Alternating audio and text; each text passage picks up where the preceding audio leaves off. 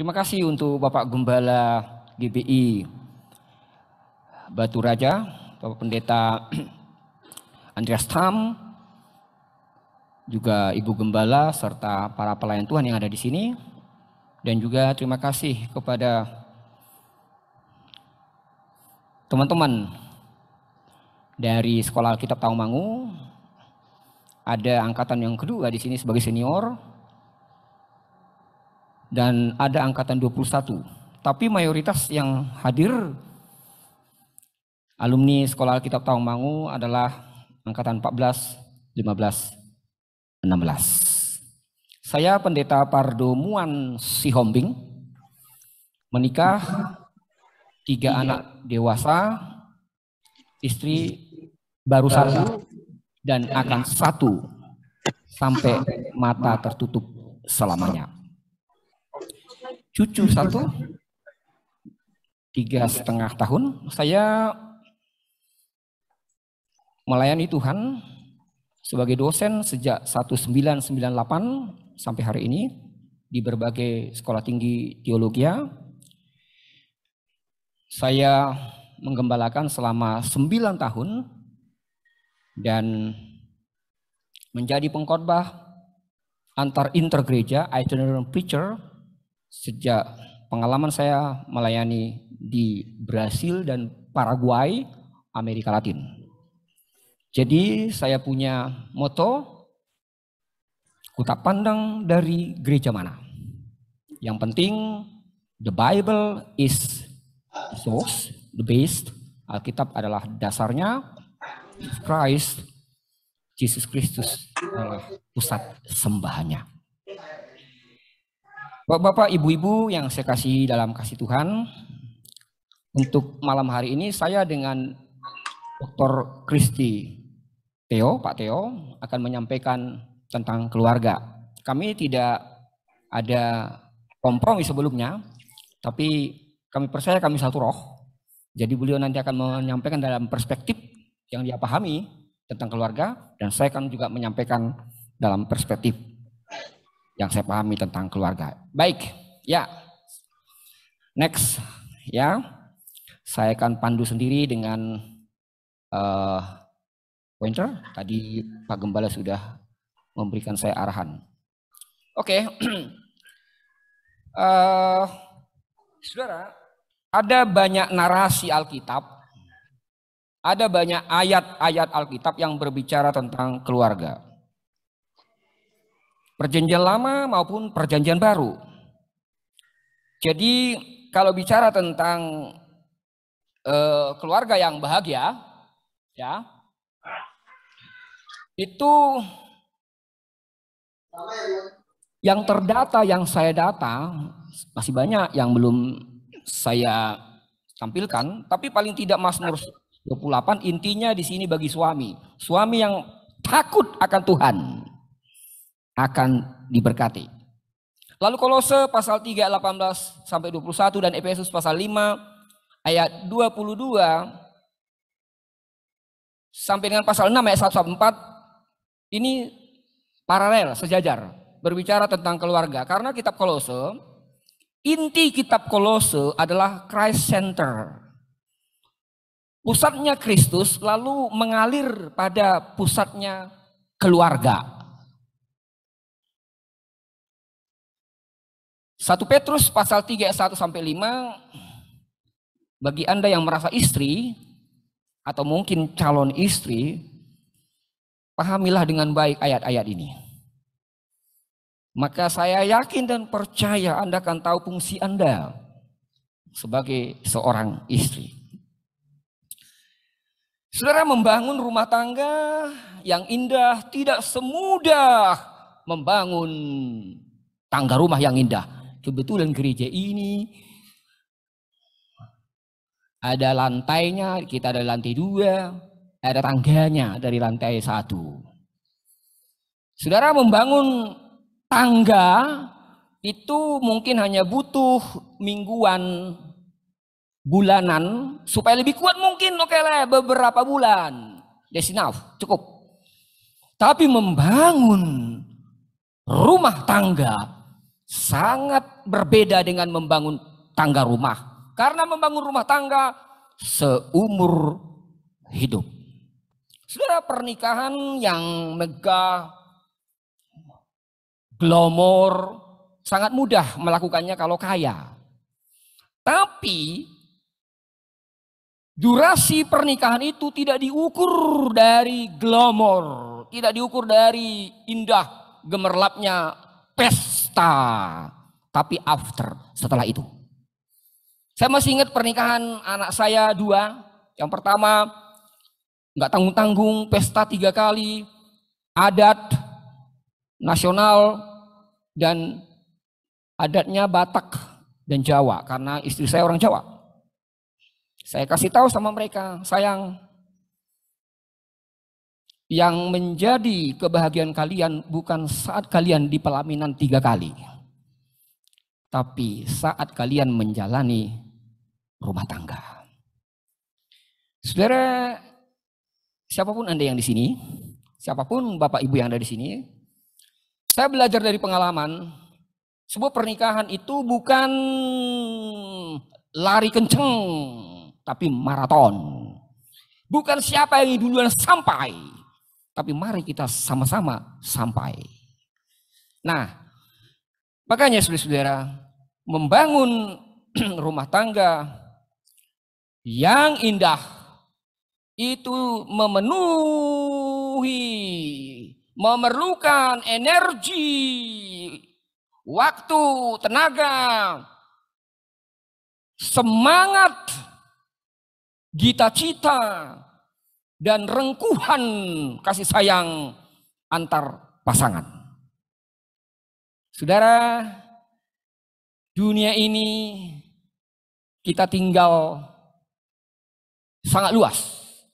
Kalau dipersempit akan menjadi benua. Dipersempit lagi menjadi negara, dipersempit lagi menjadi provinsi, persempit lagi menjadi kota madya atau kabupaten, sempit lagi kecamatan, lebih sempit. RW, RT, dan paling kecil, unit terkecil adalah keluarga. Namun, sekalipun keluarga adalah lembaga tertua dan terkecil, tapi paling penting. Saya menyampaikan ini sudah berulang-ulang. Saya bawa seminar ini di Sumatera, di Kalimantan,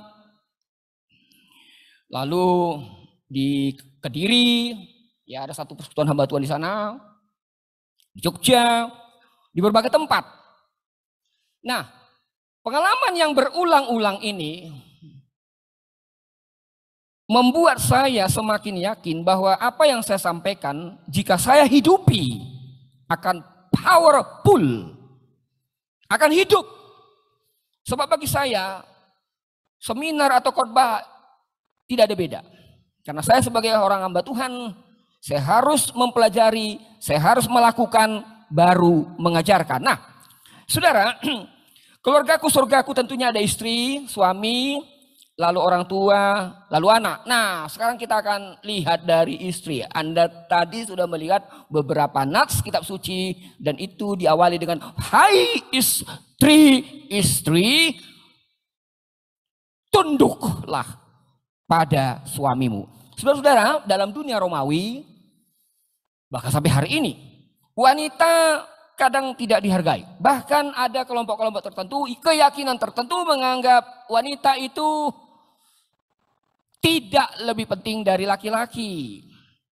Nah, saudara, ajaran Kristus itu berbeda. Wanita dan laki-laki itu paralel, sejajar, sama.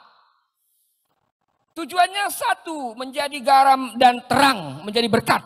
Itu tadi sebabnya saya katakan kolose pusatnya Kristus, tetapi dimulai dari family, dari keluarga. Coba Anda lihat timbangan itu, ada kesetaraan di sana. Berbedanya laki dan perempuan.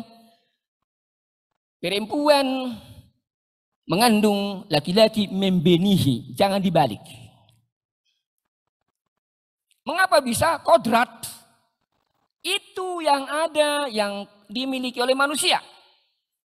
Nah, saudara tujuan dari pernikahan adalah membentuk sebuah keluarga yang indah dalam bahasa sederhana menjadi surga.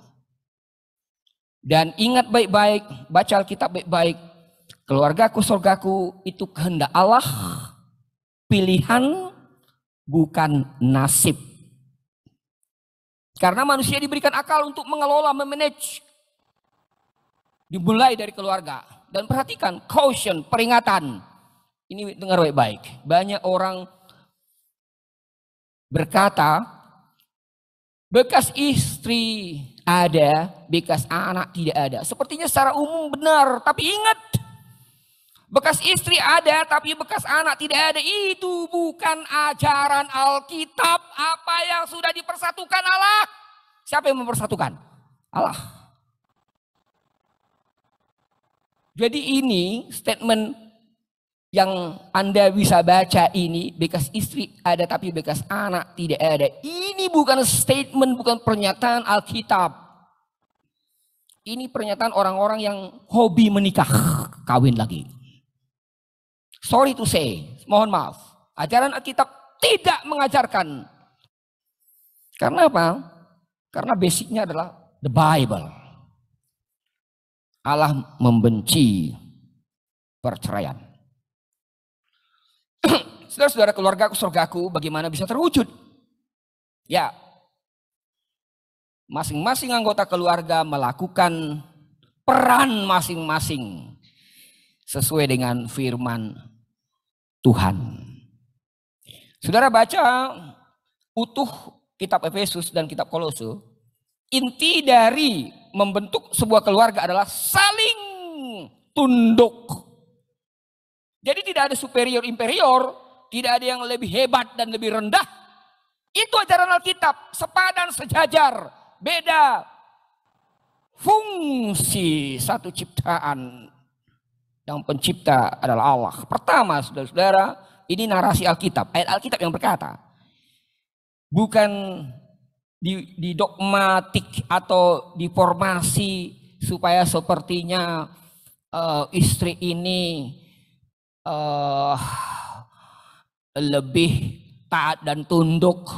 Sebenarnya istilah ini saudara-saudara, tunduk pada suami itu di dalamnya itu adalah ada kasih sayang, ada penurutan, ada menghargai, ada menghormati, tunduk pada suami. Hai istri, istri tunduk pada suamimu ada padanannya. Seperti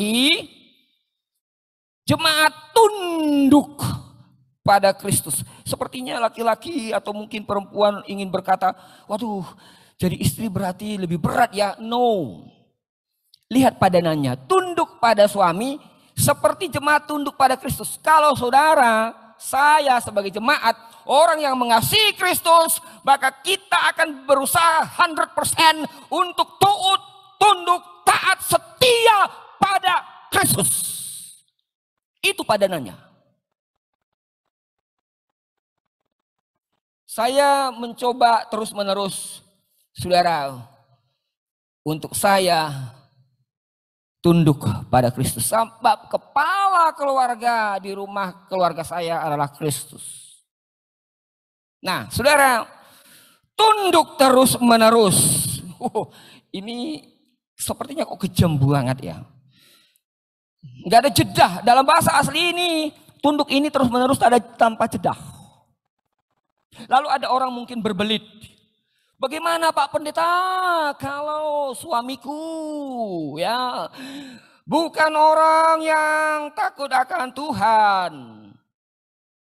Saudara, saya mau beritahu, Bagi wanita yang mencari-cari alasan untuk tidak tunduk pada istri, bacalah berulang-ulang, berulang-ulang menghidupi satu Petrus pasal 3 ayat 1 sampai 2 dimenangkan oleh kelakuan istri yang lemah lembut. Ya memang dalam diri wanita kan banyak yang lembut-lembutnya kan. Karena memang sudah dikodratkan seperti itu. Saudara mungkin sudah banyak dengar kisah. Anda mungkin pernah dengar ceritanya pendeta Ade Manuhutu. Sewaktu beliau belum menjadi hamba Tuhan seperti apa? Tanda kutip siksaannya pada sang istri. Tapi karena ketaatan istri ini dasarnya adalah kebenaran firman Tuhan berlaku lemah lembut sebagai seorang ibu kepada anak. Dalam kesaksian Ade Manuhutu, akhirnya dia luluh lantah berserah diri kepada Tuhan. Salah satu mungkin gereja atau penggembalaan GBI ya, saya nggak tahu itu. Ya, tapi yang jelas itu barangkali. Nah, jadi saudara-saudara, tunduk itu adalah sebuah ketaatan, ya. Sebagaimana Anda, saya tunduk pada Kristus. Kalau Anda mengasihi Kristus pasti deh terbaik bagi Kristus. Walaupun jatuh bangun, terbaik bagi Kristus. Walaupun bangun jatuh, terbaik bagi Kristus. Saudara, istri yang baik adalah harus bisa menjadi ibu yang baik. Kalau belum punya anak, ingat ya, Anda mungkin yang masih mau jadi istri atau sudah jadi istri. Kalau tidak punya anak, maka anak Anda adalah suami Anda. Sorry, ini bahasa dewasa, dengar baik-baik. Seorang suami setua apa pun dia ingin diperlakukan sebagai seorang anak, lebih tepatnya bayi. Itu natural. Itu bukan dibuat-buat. Ayo Bapak Ibu siapa di sini sudah berumah tangga di atas saya 35 tahun. Tolong di atas 35 tahun. Satu, dua, tiga, oke empat. Dengar baik-baik. Tapi sementara saya khotbah tolong formasi kita duduk istri sama suami dekat-dekatan. Ya, sambil saya ngomong formasinya tolong dekatlah kepada istrimu. Jadi yang mungkin bukan pasangannya dekatnya bisa pindah. Nah, saudara-saudara, jadi seorang uh, suami itu ingin diperlakukan seperti seorang anak. Saya harap bapak-bapak tidak ada yang tidak setuju ya.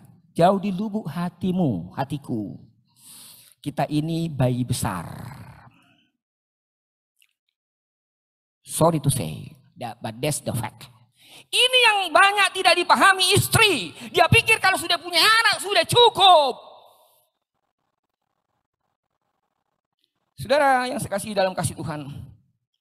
Kalau Anda bisa menjadi ibu yang baik kepada suami Anda, Anda menjadi istri idaman.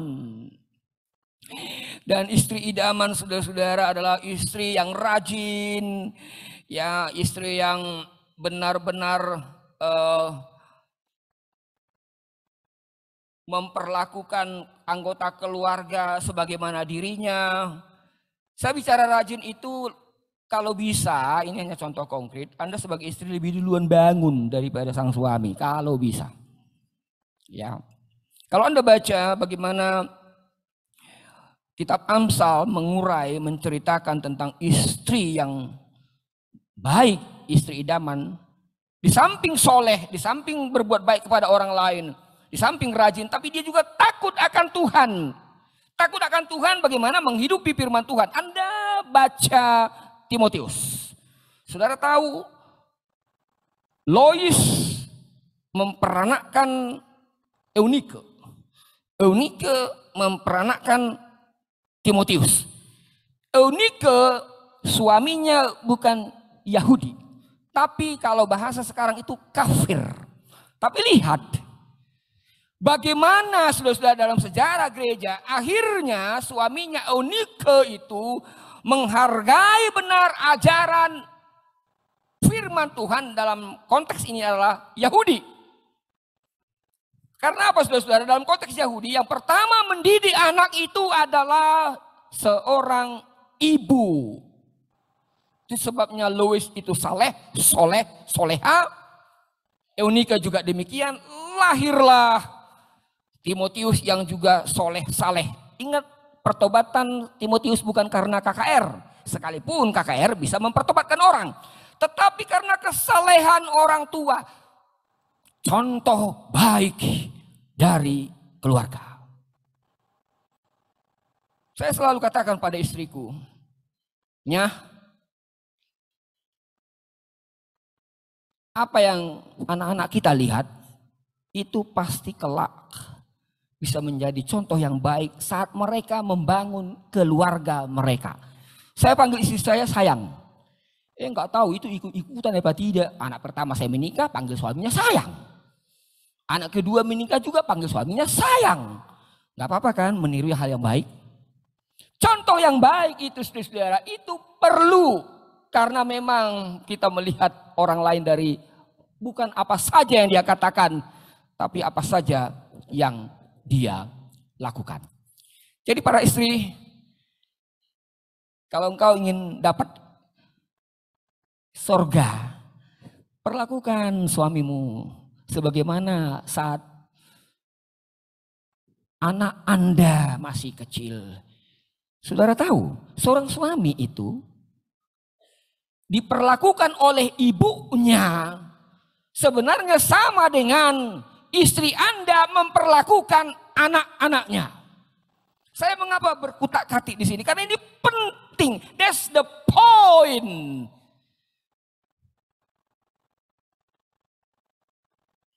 Bagi saudara yang pasangan suami istri mulai malam ini kalau belum ketemu istri, mulai besok setelah ketemu.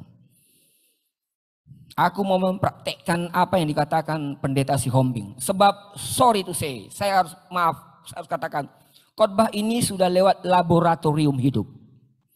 Mulut ini tidak akan berani berbicara, berkata kalau tidak melakukan. Never, never, never.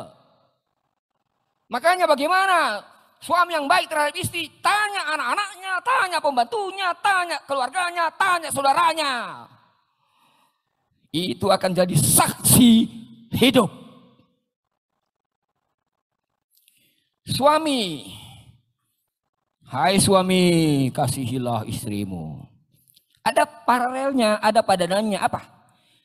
Seperti Kristus mengasihi jemaat. My goodness ya Allah Tuhan. Bagaimana Kristus mengasihimu dan mengasihiku. Orang-orang berdosa yang laknat. Yang seharusnya engkau dibuang ke sorga. Tapi karena begitu sayang padamu. Engkau diterima apa adanya. Mampukah engkau hai suami menerima istrimu apa adanya sebagaimana Kristus menerima menerimamu apa adanya. Berat mana yang pertama dan yang kedua? berat mana tugas istri atau tugas suami. Saudara, harus Anda pahami, sebenarnya itu paralel. Baca pasal 5 ayat 21. Saling menundukkan diri. Tidak bosi, tidak bos. Aku sama istriku tidak pernah bosi, tidak pernah bos. Aku sejajar. Kalau aku salah, mohon maaf. Bahkan kalau aku salah benar, aku cium kakinya. Wih itu my goodness malam-malam akan berbeda auranya. Karena apa? Seluruh jaga, jaga, jaga, seluruh jiwa raga sudah diberikan. Bukankah kasih yang sesungguhnya itu ada dalam jiwa dan raga? Saudara, luar biasa ya, itu gambarnya saya tinggal jambangnya ya. Kumisnya sudah ada. Kristus mengasihi jemaat berkorban perasaan, fisik, tenaga. Ini contoh konkret saja ya. Mudah-mudahan Anda bisa contoh. Kalau istri saya sakit, saya lebih khawatir dari dirinya, khawatir. Sudah ini mah, sudah ini mah, sudah ini mah, sudah ini. Wah, cerewet banget jadinya si Hombing. Tapi akhirnya dia pahami, itu karena sayang sang suami kepada istri. Mengasihi istri, saudara-saudara. Saya sudah katakan tadi di awal, damai sejahtera ada pada rumah tangga, pada laki-laki. Itu teksnya, konteksnya itu laki-laki. Pada laki-laki yang takut akan Tuhan dan penuh kasih. Apa itu kasih? Saudara bisa baca ada 16 item, 16 poin dalam satu Korintus pasal 1 sampai dengan pasal 13, lebih sempit pasal 13 ayat 4 sampai dengan 7a. Itulah yang seharusnya dimiliki oleh seorang suami, kasih. Saudara, boleh Anda percaya atau tidak, tapi haruslah percaya. Warisan terbaik yang bisa diberikan oleh seorang suami kepada anak-anaknya adalah bagaimana suami sayang mengasihi ibu mereka. Saudara tidak mudah, tapi ini adalah citra aura dari seorang pengikut Kristus. Apalagi kita ini mayoritas para hamba Tuhan. Katakan, khotbahkan, sampaikan kepada jemaatmu bahwa sungguhnya istri dan suami di hadapan Allah itu sama seimbang sejajar, hanya fungsinya yang berbeda. Saudara, suami yang baik memperlakukan istrinya the best, bukan anak-anaknya. Ingat, ada suku-suku tertentu kalau sudah punya anak, istrinya jadi nomor dua, nomor tiga, nomor empat, dan seterusnya. Dia pikir ada istiadat yang menghargai anak itu sudah lebih menghargai Tuhan. Padahal adanya anak itu karena ada istri. Jadi kalau selama ini Anda bagi suami tertuju hatimu kepada anakmu lebih dari istrimu, koreksi diri. Dari mana anakmu itu ada? Dari mana anakku itu ada? Karena istriku. Saya katakan kepada anak-anakku di rumah, sayang, sayang, sayang. Tiga anak saya. Ingat baik-baik. Nomor satu di rumah ini mamahmu, bukan kau. Bukan kau, bukan kau. Dan itu akhirnya mereka pahami sampai sekarang. Itu sebabnya anak-anak saya sangat takut, sangat khawatir kalau kasih mereka terbagi. Lebih besar kepada bapaknya atau lebih besar kepada ibunya. Selalu sejajar. Bahkan mohon izin terlebih dahulu Pah, aku belikan mama ini boleh. Mah, aku belikan papa ini boleh. Saudara, ini adalah hasil didikan. Ingat tadi, Lois, Eunike, Timotius. Makanya saudara, bagi suami, tatap wajah istrimu. Sangat mudah bagaimana melihat kisahmu cintamu pada awal. Waktu dia tidur. Perhatikan dari telapak kaki sampai ujung rambutnya. Kau bersama dia. Kau menghidupi dia. Kau hidup bersamanya. Dan kau sampai punya anak karena dia. Dan bayangkan Anda juga memiliki seorang ibu yaitu wanita kalau sudah sampai ke titik itu, ialah Tuhan sangat indah. Very, very nice. Semoga istriku lihat ini karena tadi ada Zoom ya. Karena bagi saya, saudara dan istri saya itu nggak ada rahasia. Tidak ada rahasia. Pasport saya, passwordnya HP itu anak istriku tahu. Password dan kode bank ATM saya semua tahu keluargaku. Makanya orang yang merdeka adalah orang yang betul-betul menjadi pelaku firman dalam konteks ini adalah dalam keluarga. Saudara, anak-anak taat pada orang tua.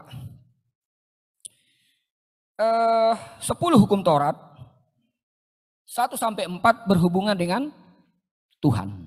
5 sampai 10 berhubungan dengan sesama. Hukum yang pertama dari 5 sampai 10 adalah hormatilah orang tuamu. Bukan hormatilah ibumu lebih dari bapakmu. Bukan hormatilah bapakmu lebih dari ibumu. Tapi hormati orang tuamu. Tidak ada ideologi apa pun tidak ada agama pun, agama apa pun yang berani mencoret hukum kelima. Karena hukum kelima, hukum universal, hukum tanpa agama, hukum tanpa orang beragama, hukum orang beragama. Saya studi agama-agama, saudara-saudara di UGM, Universitas Gajah Mada, saya belajar ini. Hukum kelima adalah hukum universal. Saudara, mengapa harus menghormati orang tua? Saya bicara sedikit ke ke ibu ya. Ada sebuah lagu Dainang. Dainang itu artinya mamah ibu. Dalam lagu itu diisyaratkan, jangan kalau sudah meninggal, baru kau berlaku yang baik. Justru saat dia masih hidup, di situlah waktunya kau melakukan yang baik terhadap ibumu. Saudara di Jepang ada tradisi, kalau sudah tua, itu dibuang ibunya. Karena dianggap mengganggu. Singkat cerita, ada seorang lelaki tidak mau membuang, tapi justru merawatnya sampai seumur hidupnya. Makanya ada orang Batak berkata, buat apa kau bangun kuburan orang tuamu besar-besar? Itu untukmu bukan untuk orang tuamu. Karena orang tuamu sudah nggak tahu itu. Hanya kau yang ingin tinggi-tinggikan, sanjung-sanjung. Eh, berkali kau. Ya. Mungkin kalau orang tua itu bangkit dari kubur, apa kau bilang? Waktu hidupku kau tidak buat seperti itu. Tolong ditonton ini. Sayang pada ibu, rangkul istrimu, peluk istrimu, tatap istrimu. Anak tidak pernah memilih siapa orang tuanya. Tapi anak dapat menentukan bagaimana mengasihi orang tuanya. Setiap orang tidak pernah bermimpi untuk dilahirkan. Tapi setiap orang berhak untuk bagaimana dia memperlakukan orang tuanya. Never complain about the things your parents cannot give you. It was probably all they had. Saudara jangan pernah komplain apa yang orang tua bisa lakukan dalam hidupmu. Mungkin kau sakit menderita masa kecilmu yang kau tidak pahami. Tapi ingatlah, itulah mungkin yang cara terbaik yang ayah ibu lakukan padamu. Jangan pernah menyesali apa pun, apalagi engkau sudah hamba Tuhan, sudah mengenal Tuhan. Berterima kasih kepada Tuhan, semua baik, semua baik. Apa yang Tuhan telah perbuat, semua baik. Engkau akan hidup, engkau akan bergelora, engkau akan melihat dunia ini terang. Sebab engkau lahir bukan karena kehendakmu. Orang tua tidak boleh menyakiti anak. Saudara, saya baru sadar beberapa saat yang lalu. Ternyata anak saya itu ingin meneruskan jejak saya. Cita-cita saya sejak kecil itu jadi penyanyi. Lalu pada waktu itu anak saya sebenarnya udah tahu cita-cita saya, dia ingin ikut uh, audisi. Tapi karena aku dengar suaranya itu baraton besar tidak melengking dalam dunia paham orang Batak, orang suaranya bagus itu yang melengking. Lalu saya bilang, nak kamu nggak bisa. Ternyata itu dia simpan saudara. Dia simpan. Nah suatu saat cucu saya nyanyi. Do, re, mi. Dia tidak fals suaranya. Saya bilang, aduh Terima kasih Tuhan. Kiranya cucuku meneruskan cita-cita opungnya. Saat itulah masuk anak saya. Papa, bukankah papa dulu yang memberhentikan saya untuk tidak jadi penyanyi? Sakit rasanya hati ini. Aku mohon maaf, mohon ampun. Lalu dia katakan, Papa, aku sudah lama mengampuni Papa. Tapi Papa bercerita tentang diri Papa. Saudara yang saya kasih dalam kasih Tuhan. Jadi kalau Anda orang tua pernah menyakiti anak mohon maaf. Seekor anak kucing, ngiung, ngiung, ngiung, nangis. Dalam satu keluarga yang punya anak kecil, istrinya baru meninggal, karena istrinya baru meninggal, anaknya masih bayi, merasa direpotkan bangun tiap malam. Minum susu, minta susu, bangun lagi. Lalu dia bilang, eh kau mengganggu kau ya. Kau tahu tidak, bukan hanya kau yang rindu pada mamahmu. Aku pun rindu pada mamahmu. Besok aku antar kau ke panti asuhan. Betul diantar ke panti asuhan. Malam pertama, suara kucing. Meong. Dia terbangun. Iyalah, kamu haus ya. Dibuka kulkas, dilihat masih ada dot, ada susunya dikasih. Malam kedua begitu, malam ketiga, ketiga, malam keempat dia sadar. Gila, aku bisa sayang sama kucing. Anakku sendiri, ku titip di panti asuhan. Malam itu juga dia ambil anaknya. Dia bawa bekerja kalau dia bekerja. Dia besarkan, dia asuh. Saudara, kalau engkau pernah menyakiti hati anakmu, mohon maaf. Kisah Franklin Graham, hamba Tuhan yang besar.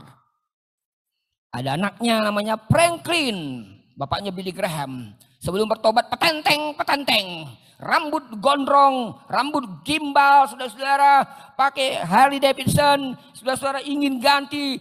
Masuk ke ruang bapaknya Billy Graham, orang terkenal. Tok, tok, tok, tok.